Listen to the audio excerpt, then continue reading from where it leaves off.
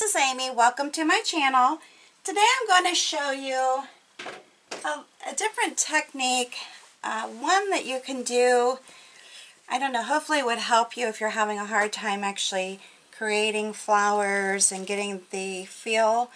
So I'm hoping that what I'm going to show you will help you a little bit and not, not confuse you, but I'm going to give it my best. I am going to be using a number 8 and number 10 Amagic flat brushes. I will be using a number 8 Deerfoot Stippler and a dotting stylus. I'm also going to just be using the back end of a paintbrush to do a center dot and you'll see why it doesn't matter what you use. You can use any any tool that you want or any object that you like to make dots with. I'm going to be using Thicket. Another color that I haven't had for a while and I absolutely love this for leaves is Forest Moss. And this one is School Bus Yellow, which is very similar to the Moon Yellow that I use, but it's enamel instead of the multi-surface. Wicker White. And this is a new one that I'm understanding is new to the enamels and it's Tea Berry. Very pretty color. I absolutely love it. And all my paints are FolkArt paints, a mixture of the multi-surface and the enamels. Actually, most of them today, except for the thicket, all of them are the enamels. Alright, let's go ahead and get started. I am going to be using the number 10 on my paper, I actually did five blooms, but I'm going to probably just start out here with three because my surface is not nearly as large as the paper that I was doing or working on. I'm going to take the end of this brush and tap it into the yellow and I'm going to start out by, I just want to kind of randomly put these on here don't want to put them out too far because I want to make sure I get them on the bottle. I mean, it's on the front of the bottle. I should say they'll all be on the bottle, but and I'm just doing this center right now as just a basic guideline. I don't even know why I'm going over it again because I don't need to. The next step is going to be take the number 10. I am going to double load it I just like to tap each side of my brush into the paint and then do my blending strokes. And I'm sorry not getting this on the camera, but I have my camera set up right now. It's not real conducive to getting all this in. Sorry about that. Do the best I can here. Alright, so I'm just doing, I can, since I have them fairly close, I can do the, the blending strokes in between them and just keep going into whichever color I want to add more to, blend, do the same thing over here, blend it back and forth. And you normally are supposed to try to get at least three quarters of the bristles full of paint. Alright, so I'm going to go ahead and start because right now what I'm doing is just putting a little mark like that a little mark like that and just going around it in fours. Just going to have four petals. You can have more. Again, this is just more of an instructional, uh, just to show you a way that you can create the petals. And hopefully it helps those that may, might be struggling with creating petals for flowers. Alright, so once I've done that, I'm going to come back in here and just kind of blend my brush. And I'm hoping I can, because I'm a lefty, a lot of times my hand gets in the way. So basically I'm going to start at the top here, I'm going to push my brush down to the side and then swing it around. I'm going to come back over here, do the same thing, and swing it around. Now once you've done that, you know, you have some basics to work with here. And obviously you're not going to leave it just like that, but you're going to come back in and you're going to put, put some more paint on your brush, more than likely. Uh, fill it in. You can just leave it once you do this part. Uh, but the more paint you have, the better coverage you have on your on your item that you're painting, the more it's going to be durable and last longer as far as being handled, that type of thing. Now on this flower, because I'm doing just separate petals like this, not layering it, I would recommend, sorry, would recommend hitting it with a heat gun. I'm going to move this plate. It really bothers me. Hit it with a heat gun or a hair dryer and then go back over it again just to make sure that you have good coverage. Again, it doesn't have to be perfect. This is just a guideline to follow. And I'm going to go back over this again. I am going to hit it with a dryer just to show you. You know, again, the lines that I made are just just guidelines. If you want more petals, you can space them out differently. But you're basically just going, pushing it to the side, swinging it around and coming back up. And you're going to go back over it again, do the same thing. And swing it around, okay? Simple. Just makes making the petals simple. And then just push it down, pull it back up. And do the same thing over here, pull it back up. But you still have a chance to, you know, do blending if you want, or, you know, straighten out the petals. It's just a guideline, as I mentioned, to help you create the petals. Okay? And then I'm going to go ahead and do the next one. So you can pull it, push it down. You can come back over here, do the same thing, swing it out. You want to swing it out more this way. You can do that too if you want to have more of a, a point on your petal. You know, you can come back in here and do that. Swing it around.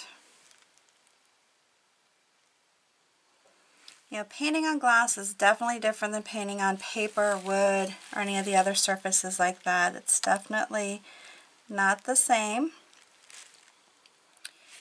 And a good product to, to practice on that's inexpensive, you can either do glass that you can, like maybe you have an excess, it's kind of hard here, excess piece of glass that you want to work on, you can do that or you can do wax paper. I like wax paper because it's very affordable and this one's giving me a little bit of a rough time here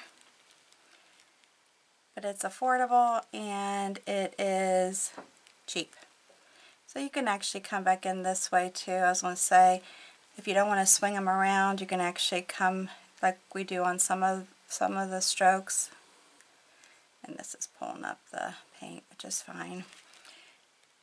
You can come back down the other way. And what I mean by that is you can go like this, it out, swing it around and up. And if you want to turn your bottle, you can come back down like the opposite direction and swing it back and come back up like that, which like I said, I like kind of doing it the way I was doing it. it turns out better. Because on this you can actually, you know, if you wanted to make one side one color, make the other side the other color so that you're maybe adding some interest to it. And these don't have to be spaced out perfectly when you're doing kind of like the hands on a clock. Can make them closer. You can add five petals instead of the four. You can actually even go over the top of these so that you have another layer of petals instead of just the, the four in the one layer.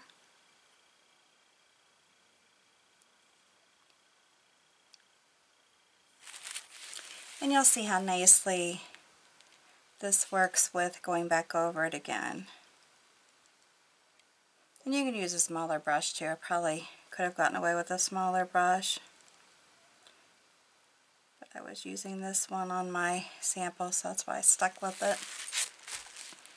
Again, they're not perfect petals, but I like it to be more of a loose look, and it will be a little bit uh, neater once you go back over it with the next the next layer.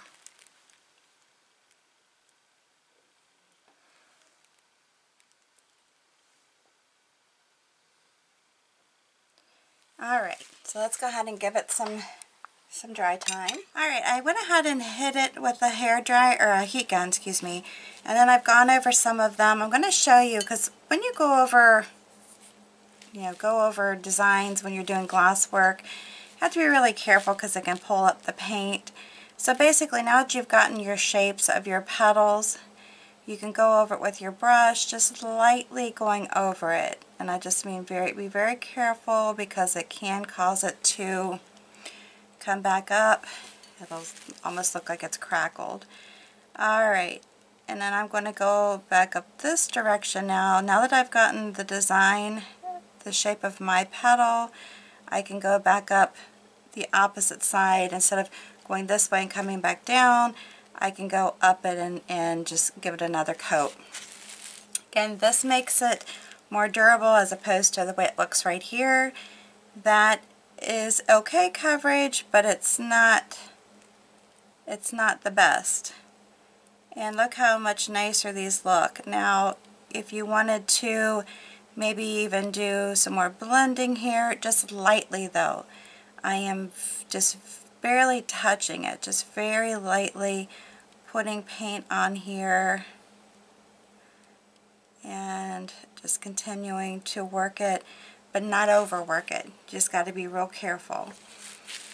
Alright so we're almost finished with these and then I'll show you leaves are the leaves that I use are just the basic one stroke pull leaves.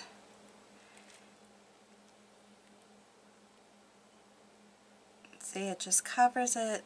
It's a thicker coating. When I bake this, which this in particular I'm not going to be baking, it's my my video jar or bottle, but I'm just saying that when you bake it then it'll be just a nicer coverage, a harder surface so it won't scratch. Even with a bottle, don't have to worry about it as much as you do like with a drinking glass. But you still want it you still want it to be a design that stays and isn't easy to scratch. Alright, so now I'm going to take my Deerfoot Stippler and I'm just putting it into yellow. Now, when I do this, I am just, I'm not going to do anything fancy. I am just putting centers in. If you want to add a second color, you are more than welcome to do so. I am just doing yellow, just keeping it simple. I started with that initial dot to get my placement of my petals and nothing more. That was the only reason I had a dot in the center to begin with. Now if you wanted to just use that as the center, you certainly may. Not an issue, not a problem. You can do whatever you want, right? Alright, so then what I'm going to do, I like dots. If you follow me, you know that. And I am just going to tap a few on each side, not going around it much, just something to give it a little bit of an accent. So it's just going to be kind of here and kind of over here. Let's see, let's do that one here. And you don't have to put a lot or you can put a ton, whatever you want to do. That's the extent of it. Pretty easy, right? Okay. Next thing I'm going to do is take my number 8 brush, going to double load it with my greens, my moss green and my thicket. And I can dip it into a little bit of the school bus yellow if I want. I am going to put my stem in when you do this, if you want to just do the leaves around your flowers and not put a stem in, perfectly fine. I like to have a stem, so that's what I'm doing. And I can make it however I want to make it. Pull a little bit of the purple, and I am going to touch a little bit of that tea berry into my leaves too. So basically you can have however many colors you want in your leaves, your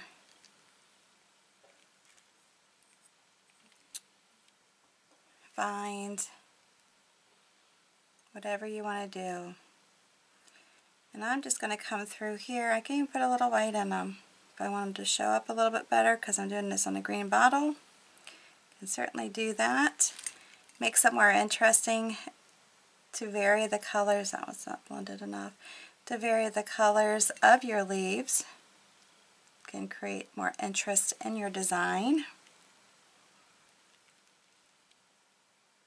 I just, I love this new color. Let me know what you think about the new color down in the comments. I'd love to hear your thoughts on it. I think it's very pretty.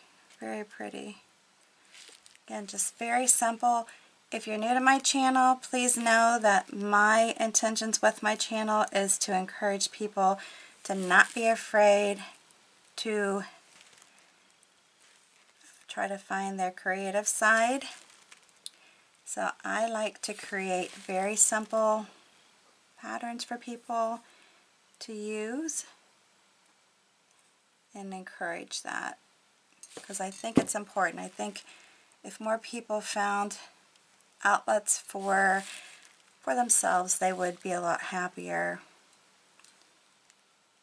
Especially if, you know, they have problems with depression or that kind of thing. I think it helps. And see how you just adding a little bit of a different color can actually make something stand out a little bit more. I like to do little pulls is what I call them. I'm not really sure what they're true, true uh, name is, or what I should actually be calling them. You know, tell me down below. Let's see, it just, just very simple and yet pretty. I mean, just think about it. You know, Christmas is coming, holidays are coming, whatever you celebrate, and you could just make some simple little gifts for people. You know, heck, you could even do this with beer beer bottles. Make them little, little, uh, oh my gosh, little vases, basically, for like single flowers or whatnot. And wouldn't that be kind of neat? I think so. And there's some pretty, pretty bottles out there too.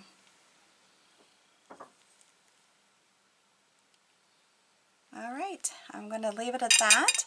Hope you like this. And if you have any questions, comments, please leave them down below. I hope giving you like another way of creating flower petals. Hopefully that that suggestion helps. Please, though, if you are frustrated or you find yourself getting frustrated because you can't do it or you feel like you can't do it, just get out some wax paper and practice. Your hands need to get the feeling of how to create something. And once you do that, You'll find that you can even draw it that way, create it however you, you know, whatever is comfortable for you, but your hand will get trained and it, will know and be much easier for you to do it with a paintbrush. Alright, thanks again for stopping by. Give me a big thumbs up if you like this video. If you're new to my channel, subscribe, hit that notification bell. Before you leave, I do ask if you would be so kind as to share this video on your social network with all your family and friends, just hit that share button underneath the video. It'll give you the options of where you want to share it and you're good to go. It's pretty easy. Alright, take care, stay safe and healthy, and you have a good one.